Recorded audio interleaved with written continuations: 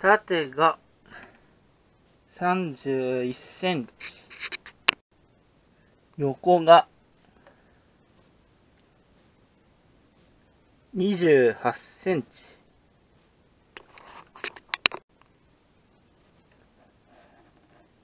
幅が16センチ。でけえ。どうも高鍋あやらです。えー、マビックミニのロストからしばらく経ちましたけれどもそれでですねとうとう新しいドローンを買いました。これです。ホーリーストーンの HS700E ですね。こちらを購入しました。でこのドローンなんですけれどもそのロストしてしまったマビックミニよりはまあ安価ですしえっ、ー、と電子式のスタビライザーを装備っていうことで、えー、他の方がもうすでにフライト動画を上げてますけれどもかなり手ぶれ補正が効いているみたいで、えー、自分の撮影時でも期待しております。またなんかソニー製のなんかセンサーを採用したっていうことでカメラの画質結構上がっているっぽいですよね。それはこの動画の後にあげようと思いますので比較してみてください。でとりあえず今さっきまでちょっとアプリとかインストールして起動させてみたんですけれども前まで持っておりました W とかとアプリとかのアプリとかその立ち上げの仕方ではですねやっぱ MJX のドローンとなんか似てるってことでほぼ一緒でした、えー、でまあちょっと話戻しますけれどもこの HS700E の大きさなんですけれどもやはりこれが以前も持っていたその MJX の Bugs5W って言ってあの固定脚の、えっと、4本の足がね踏ん張ったような本当に虫みたいな大きさのドローンがあったわけですけれどもサイズ感はそれとほぼ一緒な感じです。ただその持った感じでは Bugs5W よりは重かったですね。えっ、とするとアプリの方の話になりますけれども、えー、アプリの方、まずその Wi-Fi つなげるときに、えー、前も前まで持っていた Bugs4W 折りたたみ式の足のあるドローンですね。えっ、ー、と、フォーリーストーンだと720、HS720 になるのかな。それと、まあ、ほぼ一緒で、アプリの方、その Wi-Fi つなげて、画面を表示するのには、えーと、機内モードをオンにして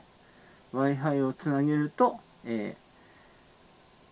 えーと、画面はちゃんとスマホに表示されるようになりました。するとですねえっ、ー、と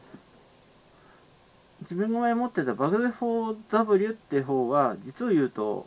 まあ、海外製で低遅延 Wi-Fi ってことでねまああれなんですけれども今回そのホーリーストーンの HS700E に関してはあの画像伝送の方も 2.4GHz ってことでどうしても遅延は発生していました。で一応至近距離でのテストしたところえっ、ー、とスマホの性能にもよるんでしょうけどもまあ使っているのは P20 っていうちょっとその CPU の速度が遅い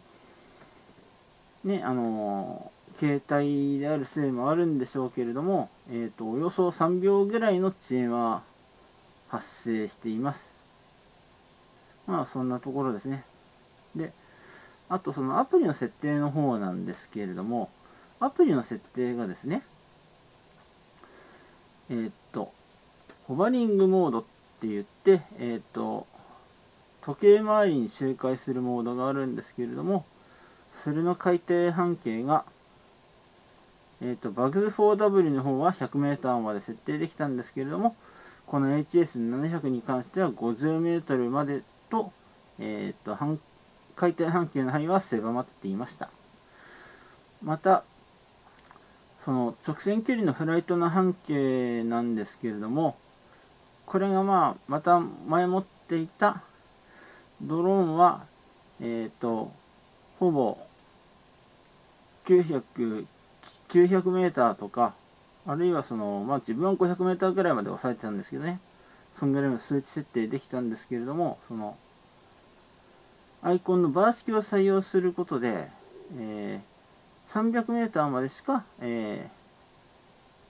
ー、設定することができませんでした。でもまあ、日本の場合もその目視飛行が前提なわけですから、まあ 300m ぐらいまででも仕方ないと思います。あとはですね、その、リターンのコードなんですけれども、これがせ、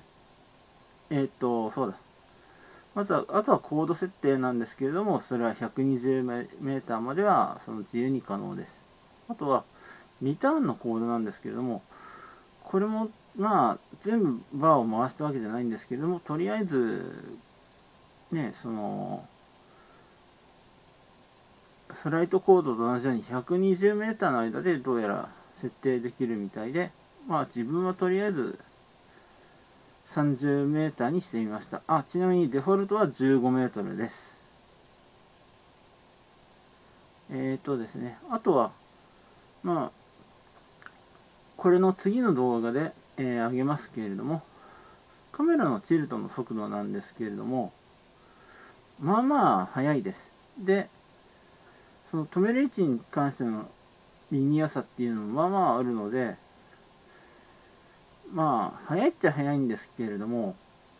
それでもね、前持ってた Bugs4W っていう方よりは、実を言うとカメラのチルト速度遅いです。そんなに滑らかじゃないんですよ。だから、自分にとっては、そのカメラの上下のチルトなんですけれども、その狙ったところに合わせやすいですね。また、あとはそのもう一つアプリの話なんですけれども、えっ、ー、と、撮影の時に、えっ、と、マイクロ SD を使ったり、あとはその Wi-Fi で、ね、その受信するわけなんですけれども、えっ、と、さっきテストしてみたところ、そのマイクロ SD を入れない Wi-Fi での撮影、つまりそのスマホの方に録画されるモードの場合、えー、このアプリには拡大と拡大するね、ズームの機能があるんですけれども、そのズーム機能、えー、マイクロか SD カードを入れない Wi-Fi の撮影時には、ちゃんと拡大の機能は反映されて、えっ、ー、と、ものが拡大された映像が記録されておりました。ただ、あの、マイクロ SD を入れた場合に、パソコンなりなんなりで、その、なんだ、録画したのをそのパソコンのメモリに落としてあの再生しようとするとどうやら、えー、その拡大のされた映像は反映されないようです。なのでその例えば対象物に対して拡大したそのちょっとどうしても画像は荒くなるんですけれどもその拡大した映像を見たいよって方は、そのスマホ、えー、っと、いちいち、その、マイクロはず、マイクロ SD カードを外した状態で、スマホの方に直接記録される映像で、その拡大した映像を楽しむ方が、まあいいと思われます。ただ、どうしても低遅延 Wi-Fi なので、その動きは隠すきますし、そのフリーズもまあまあね、距離によってはすると思うので、それでね、どうしてもタイムラグも発生しますし、狙い通りのは、ね、取れないのかもわかりませんけれども、この辺はまだそのね、あの DJI のバビキとかと違って、そのトイドローン的な部分もカメラがありますので、その辺はちょっと妥協した方がいいと思います。で、あとまあ、まだ本当にね、今日届いたばっかりで、えっ、ー、と、テスト、え、室内のテストなんで、カメラの色合いっていうんですか。それはまだはっきりとしませんけれども、ソニーのセンサーを使ってるっていうことで、前持っていたその Bugs5W ですとか Bugs4W よりは画像のね、色合いだからコンストラクトとかがとかがはっきりしていることを期待しています。まあその前持っていた Bugs4W ってどうしてもね、色がね、少し実際に見るよりも明るめだったり、色がなんか薄いっていうんですか。木の緑の、木とかにある緑の色がね、あんまりはっきりしなかったんですよね。でも、なんかソニーセンサーを使ってるってことだし、その1年2年分の進化もありますので、まあおそらくその木のね、緑の具合ですとか、そういう色合いは、写真とかで撮った時に、えーと、はっきりするものだと期待しております。とりあえずまあ、また後日ちょっといつになるか、まあ、天気の状態とかもありますし、いつになるかわかりませんけれども、外で飛ばした時の映像と、えー、レポートはいたしますので、また次の動画をお待ちください。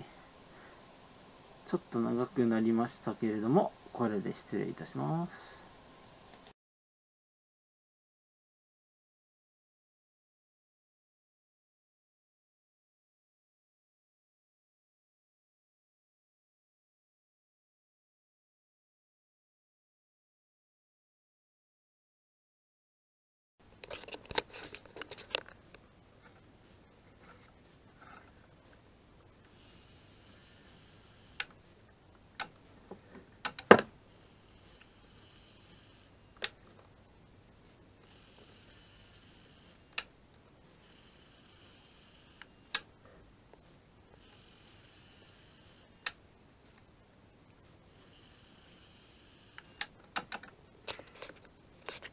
視聴ありがとうございました。